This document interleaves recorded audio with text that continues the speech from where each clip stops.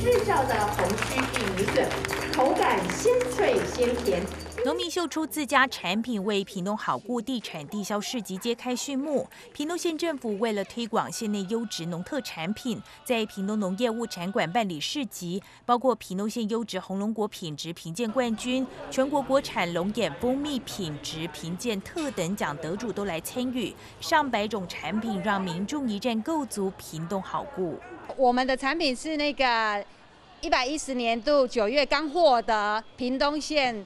啊，红龙果评鉴冠军跟果王双冠王，那很谢谢屏东县政府，就是举办这个地产地销，然后让我们啊小农可以有农产品，就是啊让消费者看得见。今年二零二二得了头等奖，嗯，就是纯天然，然后不添加任何其他物品，对，然后就天然采集这样。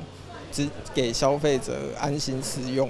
屏东县长潘孟安与副县长吴丽雪到场为屏东农渔特产行销。潘孟安表示，屏东物产丰饶，又有花果天堂的美名，且屏东农业物产馆紧邻屏东交流道旁，是南来北往民众进入屏东的第一站，带动不少人流及物流。办理市集，把优质屏东好物推荐给县民及外地游客，促进地产地销。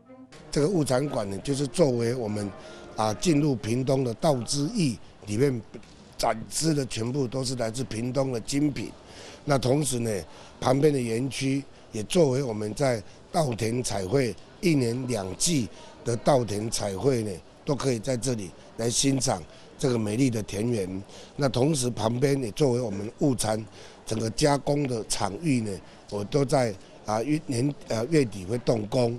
县府不但设立屏东农业物产馆，更将打造农业特色产业园区，并积极透过多元的行销管道及市集，向民众展示在地小农及农产加工的在地精品。不仅让游客了解屏东农渔产品坚强的软实力，也让游客逛得开心、买得痛快。记者张如英、杨正义采访报道。